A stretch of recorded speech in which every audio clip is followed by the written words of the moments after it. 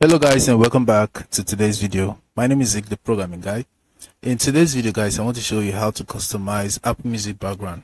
Now right here on Apple Music app um, if you notice it's always a black background color when you're playing any song on the Apple Music app. So what I want to show right now is to customize your Apple Music application so that you can have a different color whenever you're playing any song.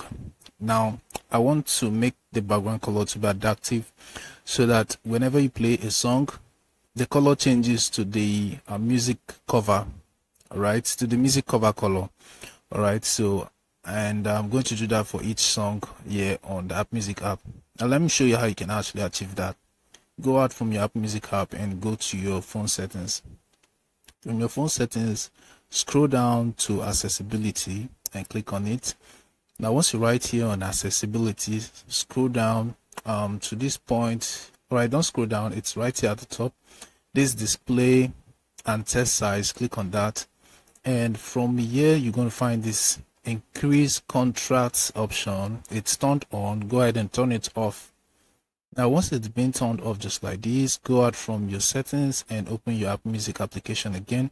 Now if you notice it's just changed. I didn't do anything I just opened the app and the color just changed. Now it's going to keep changing if I play a different song, for example.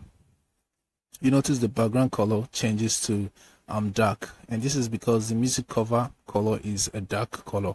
Alright, if I do this here to this one, you notice it changes again to the music um cover all right so guys this is how you can actually customize app music background color hope this video was helpful if it was give this video a like and equally subscribe to get more tips like this thanks for watching and i'll see you in my next video